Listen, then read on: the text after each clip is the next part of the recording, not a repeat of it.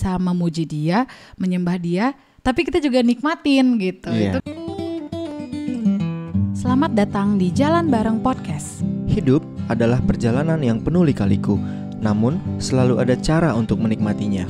Kami percaya cara terbaik menikmati dan menjalani hidup adalah dengan jalan bareng Tuhan. Aku Bobby, Dan aku Sepri, bersama-sama kita jalan bareng yuk menemukan kebenaran dan harapan di dalam Injil. so senang bisa jalan bareng denganmu. Halo teman-teman, kembali lagi di Jalan Bareng Podcast. Halo, Kenapa kamu ketawa? karena ini udah take ke sekian kali. Oke, nggak usah kasih tahu dong. Eh, nggak apa-apa biar pemirsa tuh ngeh bahwa nggak ada sesuatu yang sempurna guys di dunia ini. Oke, anyway kita mau bahas apa hari ini? Ya, musik bagi jiwa. Ya, seperti Langsung judulnya. straight to the point ya. Ya, seperti judul. judulnya, betul. Hari ini kita akan membahas soal musik yang mana musik ini eh, berdampak juga nih untuk jiwa kita. Ya. Kayak gitu. Nah, eh, secara umum kalau ngomongin soal musik, ini Hmm. pasti Kak, aku tuh paling seneng ya kalau misalnya kenalan sama orang baru gitu ya. Terus dia dengar lagu apa, terus misalnya aku eh aku juga tahu tuh penyanyi itu gitu. Terus nanti dia bilang, "Eh ya gue lu suka lagu yang mana?" Oh, aku suka ini gitu. Jadi musik tuh menurut aku bagi aku pribadi ya itu udah kayak bahasa sendiri sih. Yang Hmm. yang yang menolong kita untuk mencairkan Suasana. suasana. atau kayak menolong kita kalau misalnya kita nggak kenal dia siapa ya at least kalau misalnya dia lagi denger lagu atau pilihan lagunya dari situ kita bisa tune in dan Iya. em, bisa mulai percakapan-percakapan ringan yang lainnya gitu. Iya, benar, benar. Dan secara umum kan emang kayak gitu ya, maksudnya Hmm. musik tuh dianggap sebagai universal Universal language. language gitu. Terus apalagi banyak banget ya benefit musik kayaknya ya secara umum. Banyak sih, kayak misalnya kalau belajar, Ya benar. ditemani sama musik tuh kayak lebih asik. Ya bahkan udah ada tuh playlistnya kayak eh, to study. Yes. musik fokus misalnya gitu. slow jazz fo- to improve your study. Itu Ah, ada tuh kalau iya, di, iya, di bener. YouTube ada tuh kan playlist playlistnya. Bener lagi. ya atau bahkan itu kan untuk belajar misalnya untuk kerja juga Untuk ada, kerja, ya. untuk olahraga. Betul. Kalau olahraganya agak nggak ngebeat gitu ya. Iya olahraga ada itu BPM-nya berapa nih mau yang mau dihit gitu kan. Allegro Eh. atau berapa? apa ya nggak ngerti kurang paham ya kalau aku sama anak-anak em, biasanya suka pasang itu em, playlist misalnya kids play instrumental Oh, nah kalau jadi di rumah main gitu iya ya. itu untuk cukup main. cukup uplifting tuh ting ting ting ting. Iya ting, kayak ting, ukulele ting, ukulele lah gitu, Ah, ya kayak gitulah kurang lebih. Mohon maaf ya kita kurang bisa nih mah Musical box menggambarkan gitu suaranya. Iya, ah, kayak itu. Jadi in general memang musik banyak banget benefitnya Banyak, ya. banyak Sama itu juga eh, banyak juga tuh penelitian, apa sih artikel populer yang yang mengambil hasil penelitian ilmiah gitu, yang menunjukkan bahwa musik tuh ternyata juga punya eh, manfaat terapi terapeutikal. Jadi kayak yes. mm, misalnya kayak pada pasien-pasien yang punya masalah memori ketika dia Hmm. diperdengarkan sebuah musik misalnya di masa lalunya dia akan eh, long term memorinya somehow bisa kayak tercetus lagi Ah. kayak gitu. Aku juga ingat tuh pernah dokter neuro di rumah sakit tempat kita kerja dulu bilang waktu eh bapak ini sukanya musik apa nih dulu? Coba taruh musik di telinganya gitu. Hmm. Iya, iya, itu iya, akan iya. membuat ada kayak recovery-nya lebih cepat. Betul, karena atau kayak pasien-pasien ada di ICU gitu ya. Yes, benar, karena ada kayak apa area-area di otak yang terstimulasi Iya. ketika dia misalnya mendengar musik dan itu bring back sama particular memory gitu. Iya. Di, di ya itu maksudnya Efeknya secara. Mm. Iya kan, secara saintifik juga musik punya banyak manfaat ya kan. Comforting, stress reliever untuk pasien-pasien yang anxiety atau Iya. depresi gitu misalnya. Jadi in general secara umum gitu musik tuh punya kekuatan gitu ya. Dari benefit-benefit yang dia bisa tawarkan tadi ya. Yes, betul. Nah, itu kan secara umum. Kalau di dalam kehidupan Kristen, musik juga punya role yang penting gitu. Punya punya role yang cukup vital di dalam kehidupan iman Kristen. Dan kalau aku sih mengconsider musik ini sebagai uh, good gift ya dari Tuhan. Dan aku bersyukur karena Allah Allah kita tuh adalah Allah yang memberikan musik dianugerahkan kepada kita sebagai sesuatu yang enjoyable gitu. Hmm. Yang di dalamnya kita bisa bisa memuji dia, menyembah dia, tapi kita juga nikmatin gitu. Iya. Itu kan kayak indah sekali ya. Benar. Heeh. Dan kelihatan sih banyak di dalam, di dalam Alkitab kan bentuk-bentuk nyanyian, pujian dalam Mazmur. Iya, Itu banyak mm-mm. banget kan. Dalam Alkitab aja juga tertulis banyak banyak sekali gitu ya Iya. himbauan untuk kayak pujilah hai jiwaku bersorak-sorailah Iya. gitu. Mainkan gambus dan kecapi iya. gitu kan. Jadi gunakan alat musik apa pun uh, raise your voice untuk memuji Allah kayak gitu. Dan di perjanjian baru itu juga kayak di Kolose 3 ayat 16 sampai 17 tuh Paulus mengingatkan juga tuh jemaat Kolose dibilang hendaklah perkataan Kristus diam dengan segala kekayaannya di antara kamu sehingga kamu dengan segala hikmat mengajar dan menegur seorang akan yang lain dan sambil menyanyikan mazmur dan puji-pujian dan nyanyian rohani kamu mengucap syukur kepada Allah di dalam hatimu. Hmm. Jadi dihimbau dulu saya dalam jadikanlah menyanyikan mazmur puji-pujian ucapan syukur tuh bagian yang yang sehari-hari banget gitu di Yeah. dalam kehidupanmu uh, sebagai orang Kristen kayak gitu. Di contoh Injil juga disebutin juga kan. Markus 14 ayat 26 itu mencatat kondisi sebelum Tuhan Yesus tuh ke Taman Getsemani dan akhirnya ditangkap kan. Dan sebelum itu disebutkan tuh sesudah mereka menyanyikan nyanyian pujian. Berarti kan Yesus sendiri dengan murid-muridnya juga bernyanyi ya. Iya. bernyanyi maksudnya bernyanyi bersama-sama kayak gitu Menyanyikan pujian. Hmm. menyanyikan pujian dan nanti pun di akhir ketika Yesus datang kedua kali seperti yang digambarkan di Wahyu ya Yes. oh, dan ditulis oleh Yohanes dibilang juga gitu segala umat semua orang dari berbagai suku bangsa bahasa kaum ya akan memuji anak domba itu gitu Yes. jadi bisa dibilang musik, nyanyian, puji-pujian itu akan menjadi bagian adalah bagian wajar dan sangat natural dalam kehidupan orang Kristen gitu. Di dalam Kristus sebenarnya ada yang lebih indah lagi nih, P. Hmm. Kita memuji Tuhan itu bukan sebagai keharusan gitu. Misalnya nih, kita kayak tahu bahwa kita harus memuji Tuhan. Habis itu kita tahu juga menyanyi atau musik tuh punya banyak man- manfaat gitu. Jadi kita kayak melakukannya sebagai kewajiban. Oke, Nah, tapi itu kan kayak agak-agak ya ya gue lagi ngomong Aduh, iya eh, gitu kayak gitu kan Heeh. di dalam Kristus kita bisa melakukannya sebagai respon kita gitu respon terhadap apa sih ya respon terhadap apa yang dia udah lakukan buat kita respon terhadap pengorbanan Kristus waktu kita sadar kita berdosa terus kita diselamatkan terus respon waktu kita misalnya secara simpel waktu kita melihat ciptaan terus kita terkagum gitu melihat ciptaan du- dunia ini diciptakan oleh Allah kita bisa meresponnya juga lewat Iya. musik gitu kan Ya. Bila kulihat Iya, bintang gitu ya. Heeh, benar. Ya, tapi juga ada satu kebenaran yang juga membebaskan kita. Mm-mm. Waktu kita menyanyikan puji-pujian itu, kita nggak perlu jago musik. Iya, mm, benar Eh, setuju. Kita nggak perlu in particular. Ini dinyanyikan dengan nada dasar C, Iya. kemudian akan berpindah ke A minor. Iya, Nanti iya, kalau iya. jangan jangan jangan jangan ke A minor, kayaknya kurang enak. Jadi Mm, harus ke mm. A minor 9 misalnya. Iya. Jadi itu kan itu nggak terlalu penting sih sebenarnya. Iya benar. Iya. Jadi nggak usah nggak usah jago musik Iya, yang kayak nggak- gimana. nggak perlu. Iya dan nggak usah punya nggak perlu punya. Ya kalau punya suara bagus ya puji Tuhan ya Iya. nyanyikanlah. Eh, maksudnya gunakanlah suara yang bagus itu. Heeh. Tapi kalau misalnya nggak punya suara yang bagus juga nggak apa-apa gitu. Maksudnya di Iya. dalam toh Allah menerima puji-pujian kita di dalam Kristus karena Dia udah ngelihat kita ditebus kan. Jadi ya udah puji-pujian kita semua diterima sama Dia Diterima. gitu. Jadi bukan Mm-mm. jadi nada itu yang penting tapi lirik lagunya dan Iya. bagaimana itu mengubah hati kita gitu. Selagi kita menyanyikannya. Iya Iya. benar setuju. Nah ngomong-ngomong soal lirik, nah berarti kan kita udah tahu nih musik tuh penting. Hmm. Maksudnya musik tuh berperan penting gitu dalam kehidupan iman Kristen. Dan udah banyak lah tadi gitu ya em, fakta-faktanya dalam Alkitab juga Hmm. gitu. Nah sekarang ngomongin soal lirik, nah menurut kamu yang berdasarkan kita udah diskusi dan kita udah cari-cari research gitu, musik yang baik bagi jiwa tuh yang kayak gimana sih menurut kamu yang baik bagi jiwa? Maksudnya dalam hal ini musik rohani Kristen ya gitu. Yes. Mm-mm. Waktu kita bicara soal musik ya, musik itu kan ya terdiri dari lirik dan ya musik itu sendiri ya. Iya. Nah, kita harus eh, bisa memiliki discernment atau kemampuan untuk membedakan musik yang baik itu tidak sekedar dari musiknya yang terdengar enak. Hmm. Eh, kayak misalnya yang membuat kita bisa ngangguk-nganggukan kepala atau Mm. menghentakkan kaki dan itu membuat kayak kita Eh, tapi ini aku ngangguk bukan Iya. karena musik ya. Tapi- Oke. Iya, tapi ternyata isi liriknya nggak baik gitu Hmm. misalnya.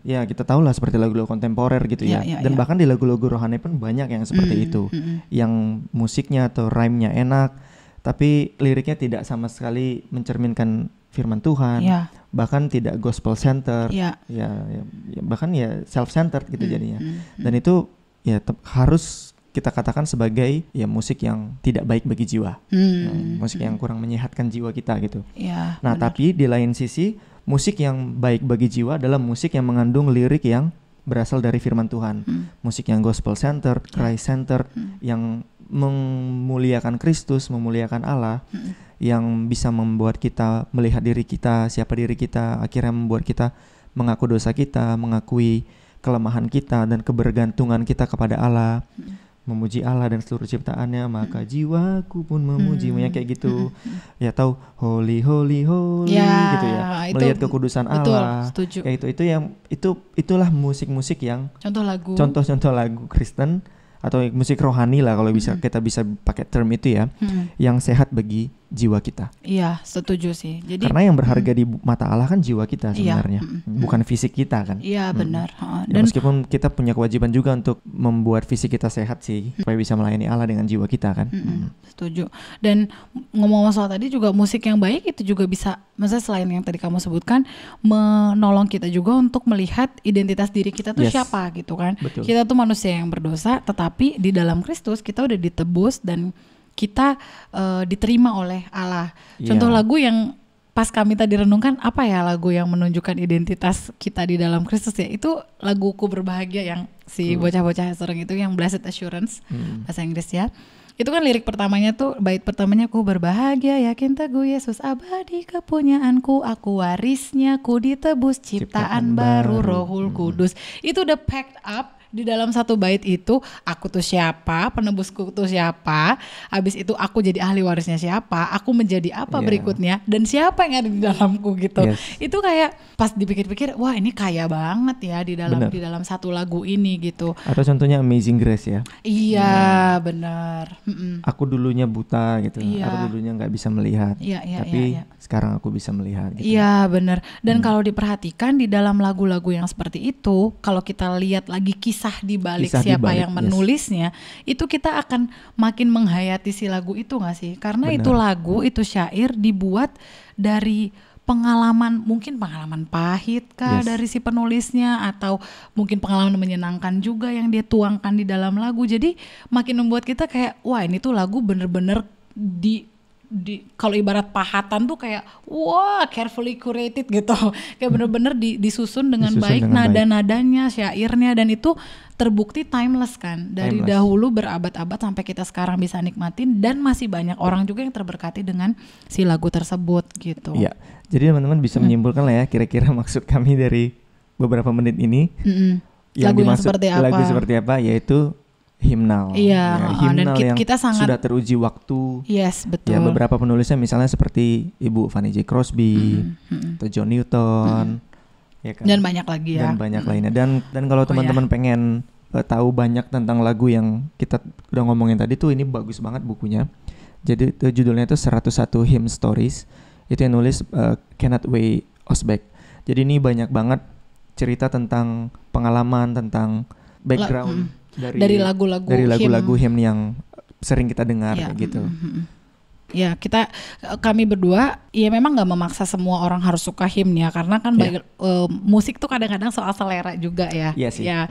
Nah tetapi kami adalah strong proponent untuk uh, para orang Kristen mendengar uh, him gitu yes. ya. Um, mungkin banyak di antara kita apalagi yang muda-muda gitu ya, hmm. ya kalau denger him tuh aduh aduh itu kayak kesannya kayak uh, pipe organ terus kayak sounds boring dan segala macam hmm. tapi sebenarnya udah banyak banget juga musisi-musisi yang sekarang ini yang meng rearrange yeah, reharm rebranding ya. rebranding him ini supaya lebih banyak lagi orang uh, yang menerima him ini um, dalam seleranya dia. Kayak contohnya tuh ada uh, satu band namanya Page CXVI gitu. Aduh, itu agak susah ya disebutnya. Tapi itu nanti cari aja deh band apa itu. Di YouTube ya? Iya di YouTube ah. atau di Spotify juga ada. Nah jadi si band ini itu adalah band yang uh, band indie gitu. Jadi tapi lagu-lagunya itu semua him. Hmm. Uh, jadi kayak lagu misalnya kayak Be Thou My Vision tapi kok pas kita ngedenger kok kayak bukan lagu Be My Vision yang itu tapi di di reham lagi sama dia gitu dan itu um, memang tujuan mereka untuk menjangkau orang-orang yang suka genre musik yeah. uh, indie misalnya. Reham itu maksudnya reharmonization ya guys. Iya, uh, Jadi ya, ya gitu. mengubah not beberapa not Tapi atau dia- mengubah chord iya, gitu mengubah chord, kan hmm. Ha-ha. ya kayak gitu gitulah contohnya jadi nggak nggak nggak melulu mesti yang kayak hmm, old fashion gitu Iya. ya tapi udah banyak banget kok sekarang gitu ya Atau kalau yang bahasa Indonesia itu Ignite GKI. Ya Nah, benar, teman-teman Ignite juga itu bagus-bagus banget menurut eh, menurut kami ya dan lagunya juga indah, Yes. timeless, bagus gitu ya dan di di lagi Iya. gitu. Jadi dan lagu-lagu ini tentunya bisa mengisi jiwa, Jiwa kita. kita. Oh ya, tadi kan kita banyak ngomongnya contoh-contoh pakai lagu bahasa Inggris ya. Dan Iya. tadi buku yang kita sajikan juga judulnya aja bahasa Inggris gitu. Mm-mm. Mungkin m- mungkin jarang kita temukan. Iya. Ya, tapi kalau mau bahasa Indonesia itu jelas mudah sekali dapatkan. Kirim Jemaat, Mm-mm. pelengkap Kirim Jemaat, NKB, dan juga KPRI. ya. Ya. Dan atau mungkin teman-teman juga punya ya sumber-sumber Iya, yang lain sumber-sumber ya. yang lain Hmm. tapi ini yang kami Yang paling nikmati umum ya. yang Mm. paling umum yang kami nikmati dan yang memang lirik-liriknya itu ya. ya bisa waktu meresap ke jiwa kita itu mengobati kita banget Ya, sih di dalam mm, pergumulan setuju, kita. Setuju sekali. musik-musik yang indah banget Ya, itu kan mungkin yang yang klasik ya. Nah, Yang kalau yang modern yang baru-baru tuh Yes. yang kesenangan kita adalah Getty udah jelas banget Yes. ya. Kate and Kristen, Kristen Getty, Getty, ya. ya, eh, yang sekarang juga jadi favoritnya anak-anak gitu. Kenapa kita suka lagu hymn modern kayak gini, kayak yang dibuat sama Getty? Karena ya itu tadi isinya ya em, lagu isi dalam kata-kata lagu syairnya itu tadi yang balik lagi kamu bilang gospel center. yes Balik lagi menunjukkan siapa sih Kristus, siapa Yes. sih kita, apa sih yang Kristus lakukan, siapa sih Allah, kenapa sih dia harus mati di kayu salib misalnya Iya. gitu, dan so on gitu. Dan ada juga nanti di beberapa bait misalnya yang menguatkan kita kayak setelah kita tahu faktanya apa yang harus kita lakukan, Yes. misalnya itu kayak misalnya contoh lagu yang suka banget tuh Living Waters ya Nah, nanti teman-teman bisa coba cari betul atau His mercy is more Christmas itu juga yang sama mm-mm. Shane and Shane ya Ya, oh iya selain Getty juga ada Shane and Shane, Matt Redman, Matt Papa banyak banget pokoknya. Yes. Em, apa musisi-musisi yang kalau misalnya kita lihat syairnya balik lagi kit- Iya. ketika kita pakai discernment dan tools yang udah kita punya yaitu firman Allah sendiri itu sebenarnya banyak banget dan liriknya indah, nadanya juga nggak kalah indah Nggak gitu kalah indah. Dan enak juga buat dinikmatin. dan kayak- profesional banget musiknya Iya, heeh, heeh, benar gitu. Terus kalau yang suka musik klasik kan ada tuh mungkin yang kayak eh, tipe-tipe yang sukanya instrumental. Sebenarnya dengan mendengar musik-musik klasik era dahulu gitu Mm-mm. ya. Itu juga kalau misalnya kita lihat alunan nadanya, story behind si em, Music itu. music itu, itu juga bisa memperkaya kasanah kita dan akhirnya juga mengisi jiwa kita Iya. gitu. Kemudian yang kedua, eh, selain tadi ya yang kamu bilang em, isi dari si lirik itu mesti gospel centered dan benar gitu isinya sesuai dengan firman Allah. Yang kedua, musik itu juga berfungsi sebagai pengajaran gitu. Maksud aku Hmm. kayak musiknya ya emang isinya word by word adalah ayat-ayat Alkitab Hmm. atau doktrin. Nah, contohnya yang sering kita putar kalau di kendaraan itu The New City Catechism. Hmm. Ah, jadi itu ada katekismus gitu teman-teman eh, yang dibikin bentuk lagu gitu pertanyaannya. Lagunya singkat-singkat banget satu menit satu menit gitu. Tapi di dalamnya tuh ada eh, pertanyaannya apa sama jawabannya tuh apa gitu. Jadi kayak misalnya what is our only hope in life and death? Nanti Ya. jawabannya that we are not our own but belong to God but belong to God ya gitu. Dan so on lah sampai 52 pertanyaan. dan Oh, itu bisa free di download gratis di situsnya Iya, benar. New City Catechism Ya, New City Catechism. dari TGC ya Yes, dari ya, TGC. di Betul, tapi itu juga ada bukunya, Iya. ada aplikasinya juga. Ya kita nggak di endorse ya guys, tapi karena kita udah bener-bener nikmatin Menikmati soalnya ya gitu. Habis itu ada juga misalnya eh, ini agak kurang kurang banyak yang tahu sih, kayak Songs for Saplings kalau di Indonesia kurang banyak yang familiar mungkin. Tapi ini lagunya juga bagus. Jadi untuk anak-anak gitu isinya sama mirip-mirip kayak katekismus eh, tapi di bener-bener untuk anak-anak. Jadi simpel banget kayak yang Shema pernah nyanyiin juga yang Who made you God made me Who made you. Habis itu di state Genesis 1:27 nanti disebutin tuh ayatnya bener-bener persis word by word gitu. Itu namanya terus enak banget apa jadi cover lagu dong nanti ya. Ya gitu. Nah nanti ini tentu mungkin nggak nggak harus kayak kita ya. Kalau misalnya pilihan-pilihan lagunya kayak kami tapi intinya di sini kita mau kasih tahu bahwa eh, musik yang baik bagi jiwa itu adalah juga musik yang bisa isinya tuh pengajaran gitu. Iya. ada firman Tuhan atau ada doktrin yang disampaikan lewat musik tersebut yes. gitu. Kemudian yang berikutnya musik yang baik itu menurut kami adalah juga musik yang bisa menolong kita mengekspresikan doa atau permohonan, pergumulan, kesesakan, ketakutan atau kesenangan kita. Pokoknya musik yang isinya seperti kita berbicara sama Tuhan, Sama Tuhan. gitu. Misalnya kita mau saat teduh mau baca firman gitu. Sambil doa, setelah doa mungkin kita bisa nyanyi lagu-lagu yang mempersiapkan hati kita untuk eh, menerima firman Tuhan kayak eh, Change My Heart Oh God atau kayak nyanyikan lagi bagiku firman kehidupan gitu. Iya. Jadi membantu hati kita juga untuk mengondisikan arah hati kita bahwa kita nih akan menerima firman Tuhan Yes. dan tolong Tuhan supaya hatiku um, siap untuk menerima firman-Mu misalnya gitu atau uh, speak oh Lord nah nah nah yang itu lagu Getty juga ya itu juga bisa tuh jadi contoh-contoh lagunya kayak gitu yang dalam konteks mau berdoa misalnya mau baca firman atau lagu misalnya dalam pergumulan Hmm. Uh, dalam pergumulan apa contohnya Apa pun juga menimpamu misalnya kayak gitu Ya, kan. betul. Atau kayak it is Setuju. well with my soul tuh. Hmm, setuju sih Mm-mm. ya banyak lagi lah ya pasti setiap orang punya lah lagu favoritnya Punya ya lagu favoritnya masing-masing. dalam masa ketakutan atau kekhawatiran gitu Yes. Mm-mm. Ya, tapi dari banyak list-list itu mungkin eh, mungkin banyak yang nggak familiar dengan teman-teman atau mungkin juga banyak yang familiar dengan teman-teman. Ini tergantung selera sih ya. ya Ya memang orang tuh dikendalikan bukan dikendalikan, dipengaruhi oleh budaya juga sih, Mm. oleh ya ketertarikan, ada si ada basic psikologi kita untuk menikmati sebuah jenis musik tertentu atau band tertentu gitu. Mm-mm, mm-mm. Tapi kalau kami sih, kami tuh sangat sangat tidak menyarankan untuk mendengarkan lirik-lirik yang pengajarannya tidak baik yang benar gitu. Mm-mm. Misalnya kita nggak boleh nggak boleh sebut merek lah di sini Iya, ya. iya, iya, Ya misalnya kayak lagu yang em, di, kalau dalam bahasa Indonesianya itu kayak engkau tidak menginginkan surga tanpa kami gitu. Misalnya teman-teman tahu lah pasti liriknya enak banget, lagu ini enak banget. Kalau di translate bahasa Inggris, ya teman-teman tahu sendiri. Misalnya kayak you, you didn't want heaven without us kayak gitu. Itu ada lagunya tuh dari Mm-mm. sebuah band tertentu yang terkenal. Mm-mm. Tapi kami nggak terlalu suka sih, kalau bisa dibilang ya, karena pengajarannya itu nggak gospel center, nggak Christ center, bahkan sampai-sampai ada yang mempersonifikasikan Kristus seperti kayak boyfriend, Hmm. ya jadi kayak ya Kristus kan bukan boyfriendmu gitu, bukan pacar kamu gitu, dia Tuhan dan Allah kamu, Hmm. dia mengambil rupa manusia untuk menjadi juru selamatmu bukan jadi pacar kamu gitu loh Mm-mm, yang mm-mm. selalu akan memenuhi kebutuhanmu untuk didengarkan dan sebagainya dia akan mendengarkanmu sebagai Tuhan dan juru selamat Mm, mm-mm. bukan dipersonifikasi sebagai yang lain gitulah. Ya, ya, ya. Jadi itu kan kayak pengajaran yang sangat-sangat jauh dari firman Tuhan dan kami ya sangat jauh sih dari mendengarkan lagu-lagu yang kayak gitu. Sehingga tadi list-list yang kami sampaikan itu yang sudah teruji adalah zaman contohnya tadi him Mm-mm. ataupun em, orang-orang yang di dalamnya itu sudah belajar firman Tuhan untuk Ya, menciptakan lagu, lagu. create lagu Hmm. kayak Getty ya pasangan Getty ini dan teman-teman yang Hmm. lain itu dan kalau mau lihat juga eh, list-list yang baik itu kami sih sangat merekomendasikan eh, situs kayak semacam The Gospel Coalition gitu ya Mm, mm-mm. di dalamnya juga ada contoh-contoh hymn yang playlist playlist yang baik kayak gitu Setuju. Ataupun kayak misalnya apa Desiring God Ya, ya, dalam Banyak lagi lah sih sebenarnya. Jadi aku setuju sih. Jadi em, mungkin yang kita memang musik adalah selera ya, dan mungkin kita juga nggak bisa maksa nih teman-teman suka atau bakal denger Yes.